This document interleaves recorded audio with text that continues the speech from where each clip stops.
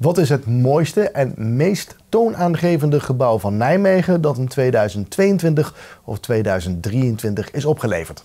Die vraag werd donderdagavond beantwoord bij de uitreiking van de architectuurprijs in de Vasem. Het gebouw van de Vasem zelf kreeg van de jury een eervolle vermelding en was de favoriet van het publiek.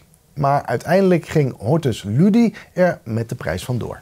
Hortus Ludi is een duurzaam en natuurinclusief bouwproject met elf volledig houten huizen. Op de locatie stond eerst een klooster en de huizen hebben dan ook een gezamenlijke kloostertuin. Die twee dingen zorgden voor inspiratie bij de architecten. Wat heeft ons geïnspireerd? Ik denk dat de grootste inspiratiebron wel het klooster zelf was en de kloostertuin.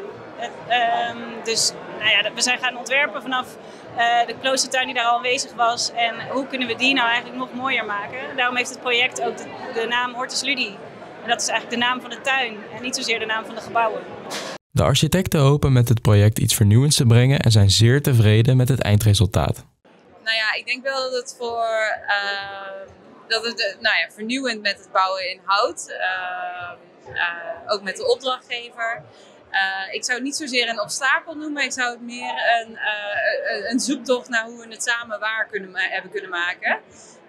En ik denk dat, dat dat daar wel mee gelukt is. In de toekomst ligt de focus voor de architecten ook op projecten die goed zijn voor de natuur. En op het behouden van de prijs. Nou, ik denk dat het heel goed is als we dit uh, op grotere schaal kunnen gaan doen. Uh, veel meer in hout bouwen, ook juist voor woningen waar betaalbaarheid een grote rol speelt. Dus uh, voor de sociale huur bijvoorbeeld. En daar moeten we ook duurzamer voor gaan bouwen. En, um, en ja, wat wij ook wel heel erg belangrijk vinden is dat we gebouwen niet zo vaak meer slopen, maar dat we meer gaan hergebruiken. En op die manier ook de CO2-impact besparen. Dus er zijn echt nog heel veel opgaves die wij net zo interessant vinden als dit.